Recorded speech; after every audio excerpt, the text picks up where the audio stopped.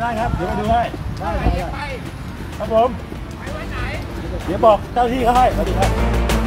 ทำงานทำงานทำงาน วันนี้ชัดชาติสิทธิพันธ์ผู้ว่าราชการกรุงเทพมหานครทำอะไร ชัดชาติเดลี่จะเล่าให้ฟังค่ะ วันนี้นะคะ คุณชัดชาติมาไลฟ์ Facebook ไปวิ่งที่สวนลุมตั้งแต่เช้า แน่นอนว่าไม่ลืมร้องเพลงสวัสดีวันจันทร์เพลงประจำตัวอีกเช่นเคย มีการทวนเนื้อเพลงกับทีมงานด้วยว่าตัวเองร้องถูกหรือเปล่า แถมผู้ว่ายังอัธยาศัยดีสุดๆ ทักทายคนมาออกกำลังกายที่สวนลุมอย่างเป็นกันเองตลอดเส้นทาง คุณชัดชาตินะคะ ไม่ได้มาวิ่งเฉยๆ แต่ยังแนะนำแลนด์มาร์กต่างๆ ในสวนลุมให้ฟังอีกด้วยค่ะ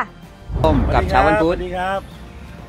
ที่สวนลุมนะวันนี้มาสายนิดนึงเดี๋ยววิ่งเบาๆนะเอ๊ะผมร้องเนื้อถูกไหมเนี่ยถูกครับถูกใช่ไหม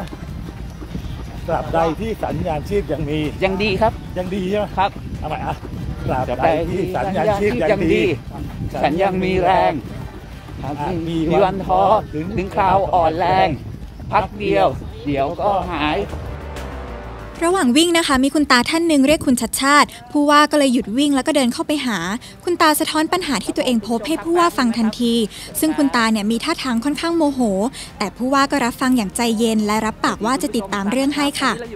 พอวิ่งรอบสวนลุมครบหนึ่งรอบนะคะ คุณชัดชาติก็หยุดถ่ายรูปกับคนที่มาออกกำลังกาย ก่อนจะบอกทีมงานให้กดปิดไลฟ์เพื่อให้ผู้ชมไปดูช่องอื่นบ้างค่ะขอบคุณนะครับพี่หมอ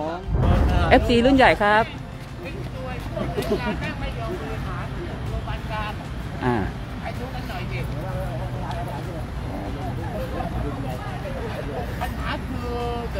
ครับผมคุณผู้ชมตอนนี้เราก็อยู่กันที่สวนลุมพินีครับ ก็วันนี้อาจารย์มาออกกำลังกายยามเช้าครับ ก่อนที่จะไปทำภารกิจต่อในวันนี้เนี่ยเขาไม่ยอมบริหารครับเดี๋ยวจะดูให้ไม่ยอมแก้ไขและอาจารย์ก็รับฟังปัญหา นี่จะได้รู้พี่ครับได้ครับ เดี๋ยวมาดูให้ได้ได้ได้ครับผมไปไว้ไหน เดี๋ยวบอกเจ้าที่เขาให้สวัสดีครับอ่าพี่เขาร้องเรียนเรื่องของวันการเนาะอืมครับทักทายกันบ้างนะครับ เออไปดูที่อื่นบ้างครับขอบคุณนะครับแค่เบาๆวันนี้แนะนำแล้วก็เจอเพื่อนๆสวนลุมสดชื่นนะทุกคนหัวเราะรอยยิ้มออกกำลังกาย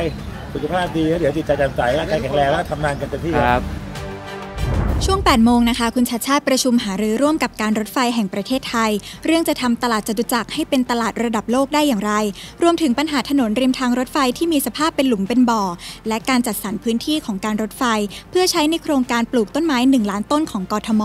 ซึ่งนอกจากเรื่องความสวยงามและร่มเงาแล้วนะคะ ยังเป็นแนวกันระหว่างชุมชนกับทางรถไฟด้วย